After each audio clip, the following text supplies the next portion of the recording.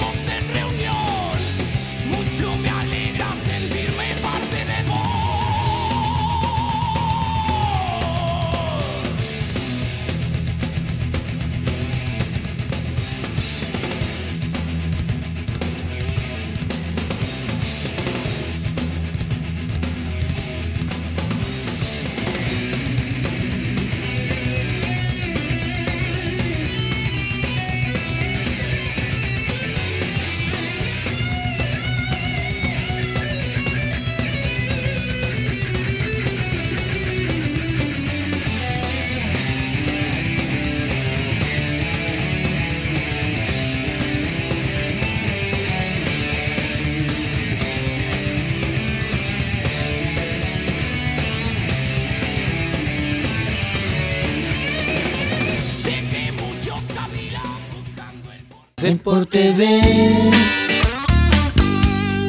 Deporte B.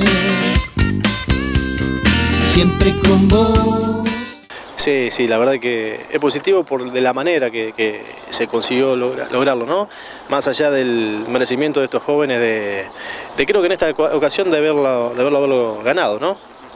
Bueno, muchas situaciones de goles cerrar.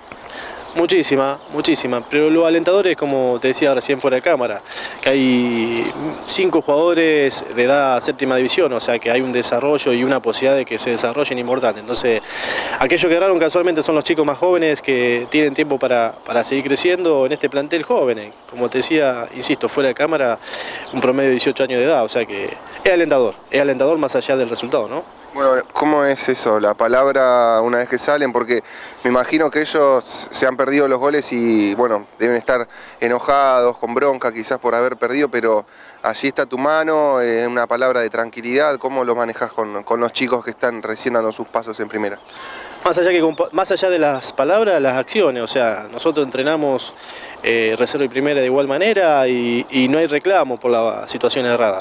Al contrario, los reclamos son simplemente cuando, cosa que no sucedió hoy, cuando no hay participación, cuando no se muestra, no, no, no son ofensivos, pero no, no hay reclamo, al contrario, eh, si se genera es importante. Más adelante cuando tengan la, la tranquilidad o la capacidad de convertir, eh, serán excelentes jugadores, ¿no es cierto?